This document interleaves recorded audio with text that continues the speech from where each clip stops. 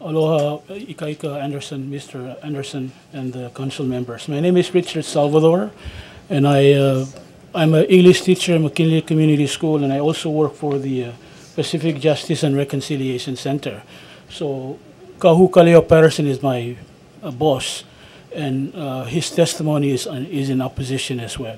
So I, I come here to, uh, to say, uh, in contrast to the uh, person from Waikiki, that uh, when she talks about Hawaii not having the legal foundations and the legal history that preceded the Wild West, I, I, I submitted my testimony, but I began by putting down, quoting the, uh, the old law, uh, law of the uh, splinters uh, paddle, Kanawai, Kanawai Mamalahoe, 1797, which uh, I have the uh, Hawaiian that I will not read, but uh, quickly the English translation is, O people, honor thy God, respect alike the rights of people, both great and humble.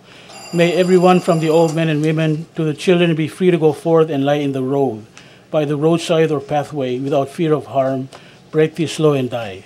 Now, I don't know what that mean, that last line means, but uh, there is a history of legal tradition that precedes even the Wild West, and for somebody to come and say that Hawaii does not have those those legal foundations is untrue, and it denigrates the people and the culture of this of this land.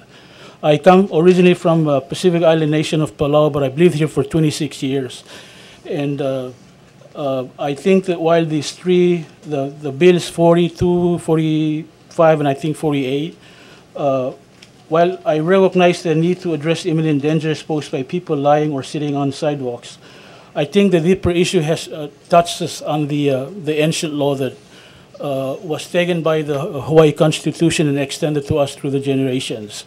So we have uh, historical basis for extending uh, generosity and compassion to people who are, who are most vulnerable. Uh, so I, I urge you to not pass the law uh, and, and, and criminalize something that emerges out of the pervasive, pervasive, pervasive issue of homelessness. Thank you. Mahalo. Members, any questions?